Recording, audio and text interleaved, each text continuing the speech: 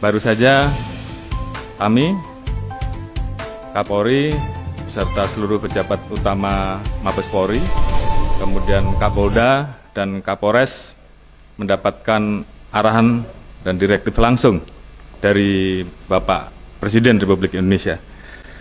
Ada beberapa poin yang tentunya menjadi catatan kami untuk kita tindak lanjuti.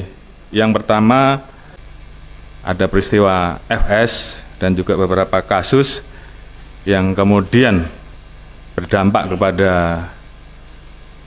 persepsi negatif, maka saat ini tingkat kepercayaan publik eh, terhadap Polri menjadi rendah. Arahan dari beliau jelas dan tegas bahwa kami semua harus solid untuk bersama-sama berjuang melakukan apa yang menjadi tugas pokok.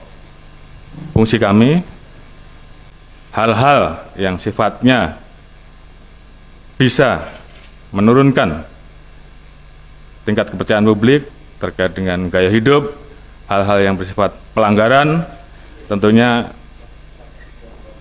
ini menjadi arahan dari Bapak Presiden dan kami akan tindak lanjuti untuk melakukan langkah-langkah dan tindakan tegas. Termasuk juga tentunya